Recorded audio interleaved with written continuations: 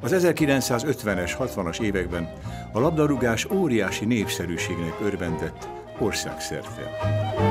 1963-ban volt ez a gyönyörű pályaolvató.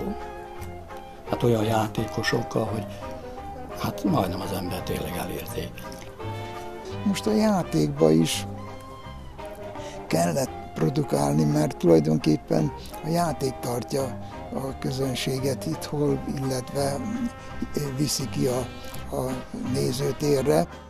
A Király Tibi bácsi magához hívott, és azt mondta, hogy a göröcsöt kell fognod, fiam.